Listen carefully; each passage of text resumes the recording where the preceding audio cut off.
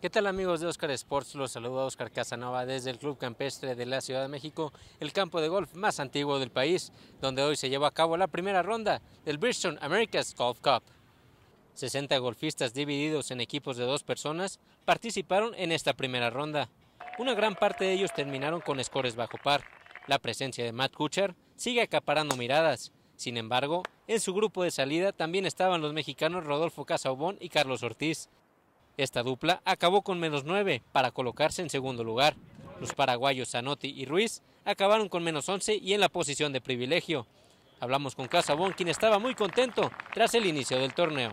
Le pegué muy bien a la bola, poteé mucho mejor, hice muchos verdis, este, jugamos muy agresivos y pues ahí se pues resultó el, el score del día de hoy. Estaba más nervioso antes de la ronda. Ya después del primer tiro, después de que hice verdi en el 1 ya me relajé un poquito.